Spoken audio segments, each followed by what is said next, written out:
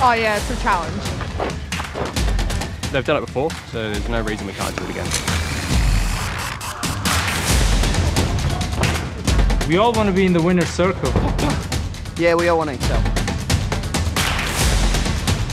I was lucky enough to represent Australia, and I reckon a highlight for me was taking out the win at Uni Games.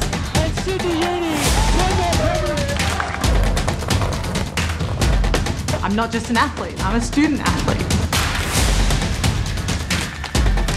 Yeah, it's a juggle between the studying and the sport, but the support is really what makes the magic happen. Teamwork, that's where it all happens.